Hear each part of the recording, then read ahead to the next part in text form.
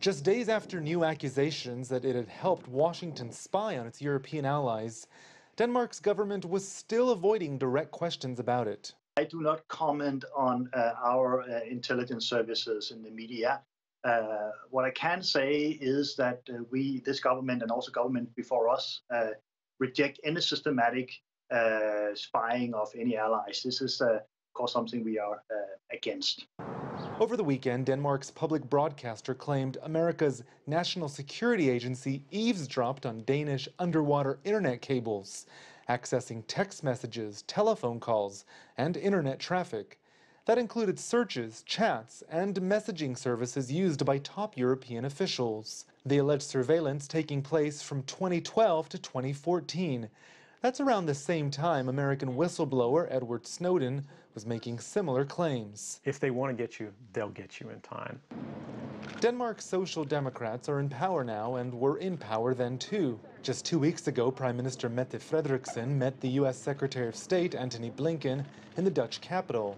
Blinken's current boss, U.S. President Joe Biden, was Barack Obama's vice president at the time. The White House this week tried to downplay the charges. In 2014, the United States issued a full review of our approach to overseas surveillance. President Obama issued a presidential directive that changed our approach in significant ways.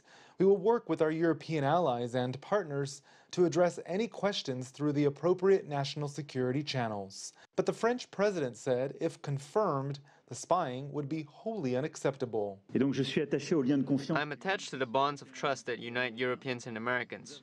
So in this respect, we have everything to do for our common security, and there is no room for suspicion between us. That is why we expect complete clarity, and we've asked our Danish and American partners to provide all the information on these revelations and on past events.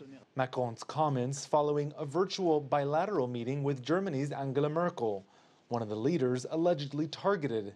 But for now, the Chancellor seems satisfied by what she's hearing. I was reassured by the fact that Denmark, the Danish government, the Minister of Defense, has made it very clear what she thinks of this case.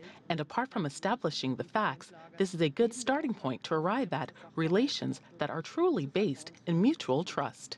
The report also accused the US and Denmark of spying on Sweden and Norway.